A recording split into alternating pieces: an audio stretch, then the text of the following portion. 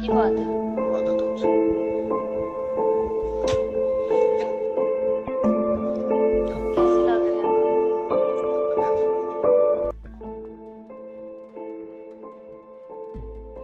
Hello अस्सलाम वालेकुम दोस्तों, कैसे हैं आप सब? दोस्तों इस्लामी जमहूरिया पाकिस्तान का जितना बुरा हाल है, इस मुल्क में रहने वाले लोगों ने ही किया है। वो शायद हमारा दुश्मन मुल्क भी नहीं कर सकता था। इस जदीद दौर में हर मुल्क तरक्की की तरफ़ जा रहा है और हमारे उस्ताद यूनिवर्सिटीज में हमारी बहनों के साथ स्कैंडल्स कर रहे हैं। आपको ये जानकर हैरानी होगी कि जो ममालिक फैश वीडियोस की प्रोडक्शन करते हैं, वो अपनी ही बनाई हुई वीडियोज़ इंटरनेट पर अपलोड नहीं करते। असल में इनका टारगेट गंदी जहनीत के लोग हैं, जो सिर्फ़ नाम के ही मुसलमान हैं। इस्लाम से इनका दूर दूर तक कोई ताल्लुक नहीं।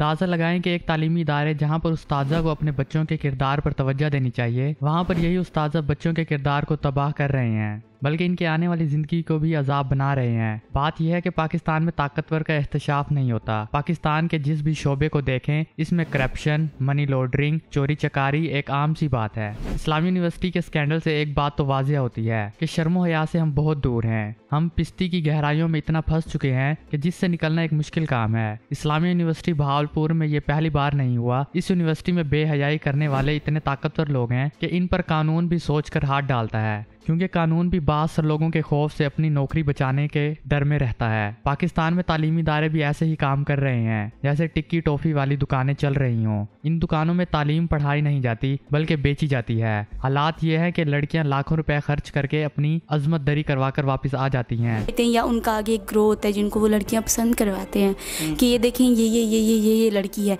एक वीडियो से फिर जब वो पसंद हो जाती है फिर उसी लड़की को दोबारा इस्तेमाल किया जाता है हम तुम्हारी वीडियो वायरल कर देंगे तुम अगर हमारे पास नहीं, उसको मजबूर पहले बताया जा रहा था कि सिर्फ़ 5500 वीडियोस इजाज शाह के मोबाइल से मिली। पुलिस की तहकीक के बाद मालूम हुआ कि ये वीडियोस 11000 से भी ज़्यादा हैं। इस बंदे की मोबाइल की मेमोरी जितनी ज़्यादा है, उतना ही ये बंदा बेगैरत है। और ऐसा नहीं कि यही बंदा शराब नोशी करता है, लड़कियों की अजमत दरी करता है और इनकी वीडियोस बनाता है। बल्कि इस स्कैंडल में यूनिवर्सिटी के आधे से ज़्यादा उस्ताजा भी शामिल हैं। तफ्तीश करने के बाद इजाज शाह का बयान था कि इसमें कोई बड़ी बात नहीं, मैं अकेला थोड़ी था।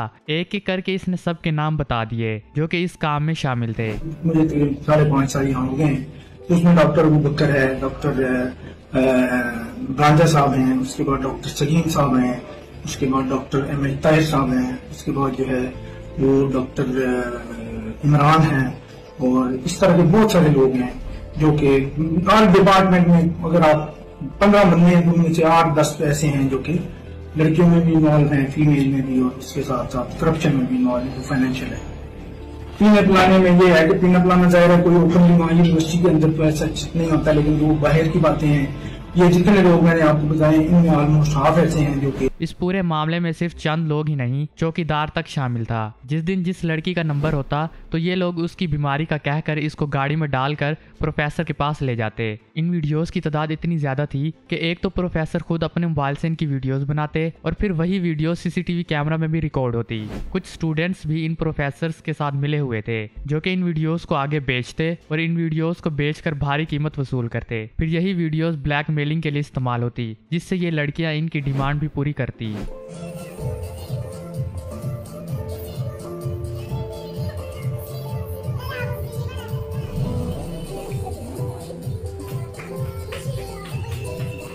दोस्तों अब इस बात का अंदाज़ा यहाँ से लगाया जाता है कि ये लोग मीडिया के सामने अपने हर गुनाह से मुकर रहे हैं। दोस्तों इस इंटरव्यू को देखें। मुकम्मल तौर पे बोगस किस्म की मनशियात प्लांट करके एफ़ बोगस दर्ज की गई और उसके बाद जिनसी और नाजेबा वीडियोस के झूठे स्कैंडल्स बनाए गए जिसमें कोई मुद्दई कंप्लेनेंट या कोई फ़र्द आज तक नहीं आइडेंटिफाई हुआ कि कौन है जिसकी जिसका इस्तेसाल किया गया हो। सिर्फ़ और सिर्फ़ ये प्रोपेगेंडा इस्लामिया यूनिवर्सिटी की शोहरत ख़राब करने और इसके कॉन्फिडेंस से मालूम होता है कि इसके पीछे बहुत से लोगों का हाथ है। दोस्तों इस यूनिवर्सिटी में पैंतीस हज़ार से भी ज़्यादा के स्टूडेंट जेर तालीम हैं आप जरा इनके वालदेन की तकलीफ़ का अंदाज़ा लगाएँ जिनकी बच्चियों का फ्यूचर तबाह हो गया है वालदेन के दिलों पर पहाड़ टूटते होंगे कि अगर इन ग्यारह हज़ार में से इनकी बेटी की वीडियो हुई तो वो क्या करेंगे वफाकी वज़ीर का बड़ा बेटा इसका अहम किरदार है और इसने ना सिर्फ़ अपने बेटे को बचाया बल्कि केस को भी झूठा करार दिया 500 से ज़्यादा लड़कियों की इज़्ज़त लूटी गई लेकिन फिर भी हमारा कानून खामोश है इस्लामी यूनिवर्सिटी के हेड ऑफ़ डिपार्टमेंट और चीफ ऑफिसर को भी लटका कर मिसाल बना देनी चाहिए ये सात हज़ार से भी ज़्यादा कौम की बच्चियों की इज़्ज़त का सवाल है।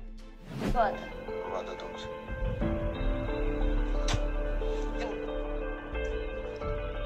वादा